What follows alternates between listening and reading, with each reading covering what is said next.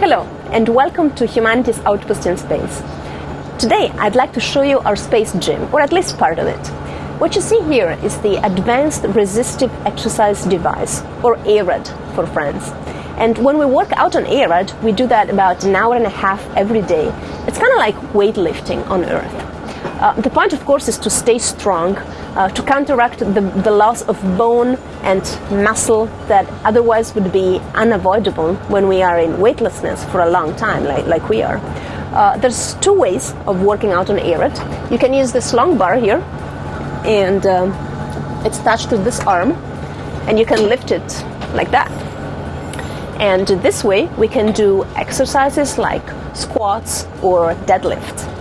Or we can leave this big bar in its resting position and work instead with this short bar, which is attached to a cable that you can pull out like that.